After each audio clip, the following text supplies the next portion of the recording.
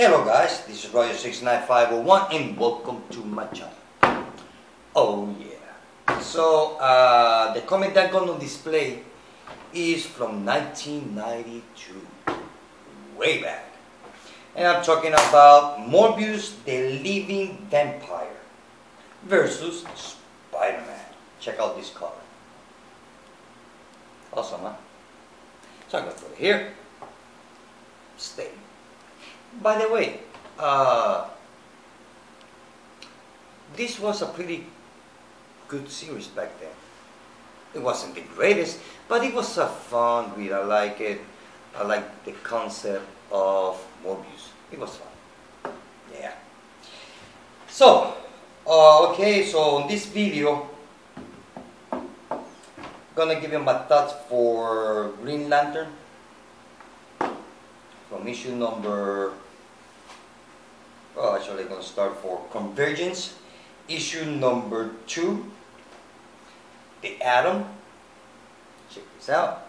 Well, actually, had to, yeah, let me get, have to get organized here. Okay. Okay. Convergence issue number two, which is, which is the beginning of the of this new story arc, in a way. Uh, issue number 41, which I love this cover. Issue number 42. Issue number 43. And 44, the last issue so far. Check out this cover. Awesome, huh? Okay. Let me, let me reorganize again. Okay.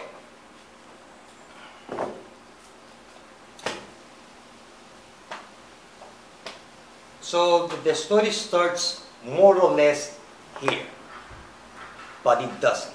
It's not the same as the some other books that where the last story arc finished, this one started. Not this one, because original this story arc starts from issue number 40 to be uh, more or less like from issue number 40 not 40 issue number 39 sorry start from issue number 39 and then 40 basically issue 39 and 40 basically is telling you what's going on on the universe the thing is that on the universe planets are turning into stone and the guardians they don't know how why, or who are doing that. So not only that, the Green Lanterns throughout the universe, they are getting uh, protested. Kind of like the, the inhabitants from different planets, they don't want the Green Lantern Corps uh, close to them. Kind of like riots, in a way. So so the people, so the universe, all the sectors, all the sector that they protect, well, they don't like the Green Lanterns anymore. Actually, they hate it. Because the universe kind of like blamed them for all the bad rap or the bad uh, attacks and death that been throughout the universe kind of like from the beginning of the New 52 where we had all those story arcs. Well, these are the consequences from all those story arcs that we have read. At least in my case, I have. So once, uh, so basically that's what it is. And also tell you the story where Hal Jordan and why he took the glove. It shows you there. It do not show you here. So to understand this this new story I just start from issue number 39. So now they show you what's going on with planets that they're turning turning into stones. Also show you why Hal, Hal Jordan took the glove for him, why he becomes a renegade, why he becomes a, his own boss, and what the Guardians think about Hal Jordan. Basically, all that you can find it on these two issues. Maybe you can start from issue number 38 if you want to, but in my advice, start from 39. So after 39 and 40, comes Convergence, which continue from issue number 30, uh, from issue number 40. So from 40 to this issue, we go to the future. Kind of. We see Hal Jordan having a long hair, and he already using the glove and fighting some some uh, criminals, kind of like he becomes kind of like Clint Eastwood, kind of. So on issue number 41, as we can see here, so he decides that he goes to a planet, kind of like in that planet there's a uh, like a like a building where they have illegal fights, kind of like Fight Club. The movie Fight Club, same thing. So he goes there to save this guy. Uh, what uh, what his name? Uh, I mean, the thing about Green Lantern books are the weird and strange names. I think his, his, name is Vigo or Bio. So he, he saves him from the Fight Club, fighting some, uh, fighting some uh, monsters, gladiator, you know, who will survive, and all that. So he saved this alien. So the thing is that Virgo. Not only that, while he saved this guy his life, a bounty hunter kind of shows up. Now that's a bounty hunter criminal. So Hal Jordan that guy. He's kind of like Clint Eastwood in a way. Reminds me of those Western Clint Eastwood Western movies. Not the one that good and the bad and the ugly, but more like fistfuls of dollar and hanging high and pale rider. Oh yeah, that was a good movie. Pale rider. Wow. Anyway, back to the, the comics. Sorry. Anyway, so he apprehends the criminal and the guy that he saves. Not only that, so they managed to escape, and here on issue number 42, we get to find out that the power that the that the glove has is immense, really, really powerful. You see, when he was in the planet Oa on issue number 39 and 40, when he decided to steal the glove, he escaped. Now, the Guardians told Mogo, which happens to be the planet, the new planet or the new base Oa, as we know the planet Mogo is basically a Green Lantern, but it has the shape of uh, a whole planet. So they order Mogo to use his, his gravity to stop Hal Jordan. But we get to find out that the glove is so powerful, powerful that he managed to escape, even though Mogo, the whole planet, was you using all his gravity try to stop. It cannot do it. So you get an idea how powerful that glove is, and we get to see it here again. So he managed to make like a giant uh, asteroid, but it was getting too big that he almost lose control of it. So still, Hal Jordan is still trying to control the glove because the glove takes a lot amount of of will. You can have all the will that you can have, but it takes more than that just to control the glove. That's how powerful it is. So from there, so he travels throughout the universe, obviously, till he stumbled uh, this guy. Again, I know, Rennick. So he goes to the end, no, eh, so he's, he's traveling, trying to find out what's going on. How those planets is getting, turning into stones. The thing is that the planets are turning into stone because a little bit of, of stone fall from the sky, hits the ground, the whole planet turns into stone. Nobody knows why. So the thing is that he goes to the wall. Hal Jordan goes to the wall, but Reddick doesn't recognize Hal Jordan as a Green Lantern. He uh, Reddick thinks that that person, which happens to be Hal, Jordan, he's just a scientist. They just trying, oh yeah, I'm just a scientist, and I'm here trying to figure out what's going on. And also Hal Jordan uh, sees that the wall has a big uh, fissure. He's uh, has a big hole.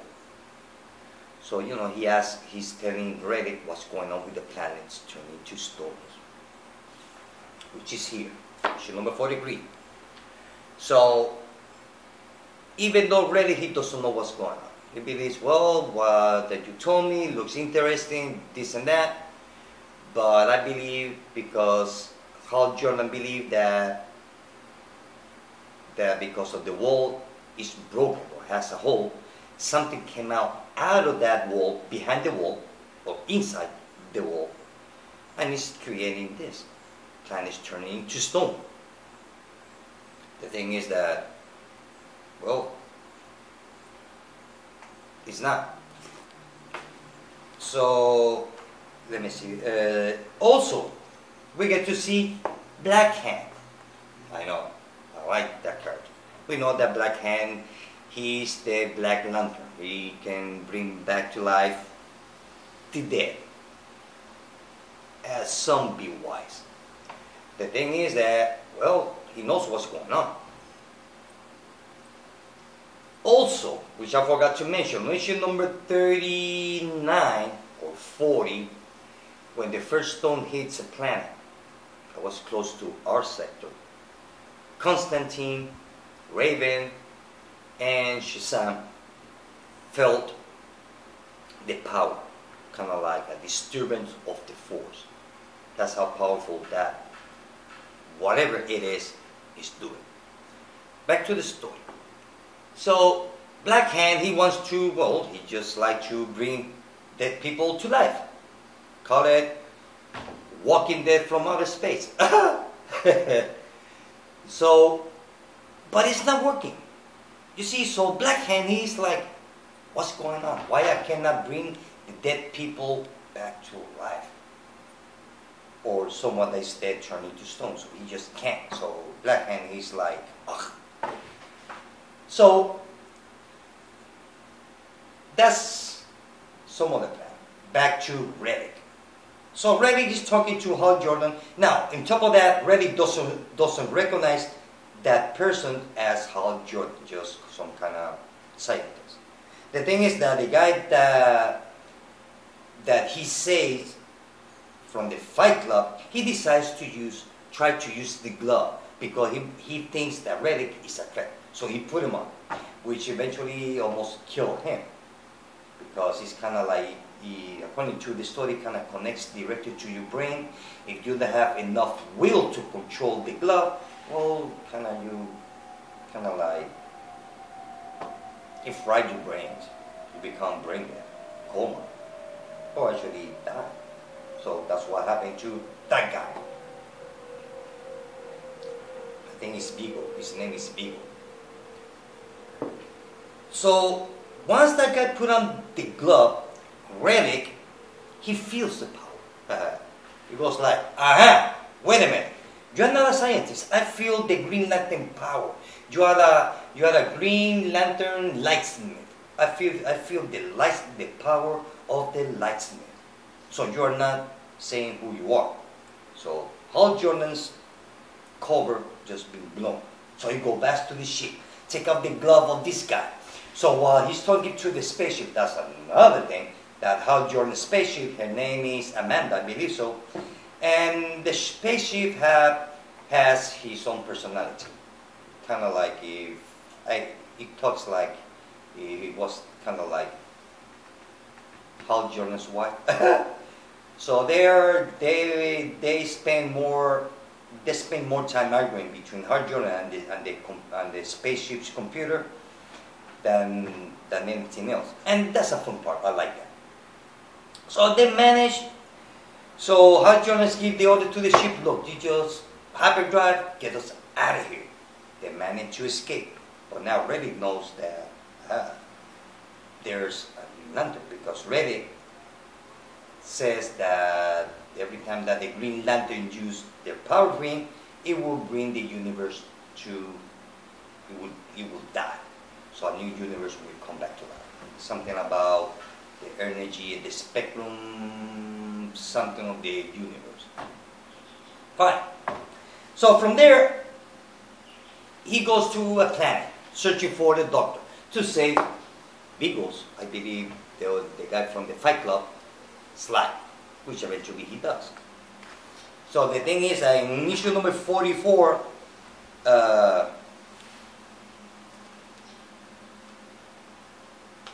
yes, his name is Vigo. So he pulled, so kind of like the the other guy, the uh, prisoner, he's they they call him the trapper. So he goes to this planet, and this planet where is the doctor is controlled by some criminals, which those criminals are from they are uh, Tanagan or Taganarian. I believe it says Taganarian, which it was nice to see some other kind of like the Hawkman people. So there's a big fight, like always. So the thing is that once that they manage to to uh, to save the town from these Tanagarian criminals. So and Virgo he managed to get out of the coma and brain dead and all that. So now there seems like that Hal Jordan is going to search for Black Hand.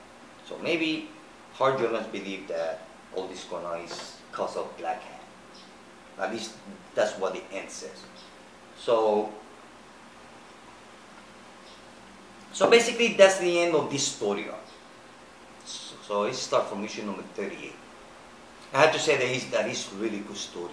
It's really good. I like this new direction, Hal Jordan's direction that he's become renegade, Clint Eastwood with his poncho, long hair. All, all he needs is just to have a cigarette. so, the Guardian, the Green Lantern with no name. They should call him that way. I just created a new character.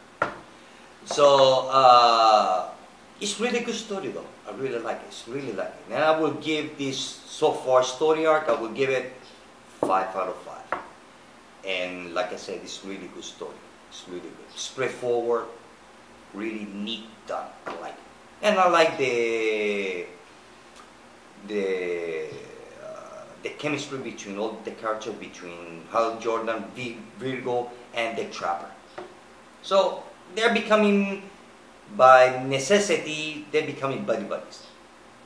They're becoming to they're they're beginning to to uh, trust each other, to become friends, and work together. So now, according to the end of the story here, it says the search for Black Hand. It says the trial of the Black Hand. So maybe Black Hand is going to be, they're going to blame him for what's going on with the universe and people turning and planets and planets turning into stones. So it's really good story. Well guys, this is it. I hope that you like this video. Till later. Bye.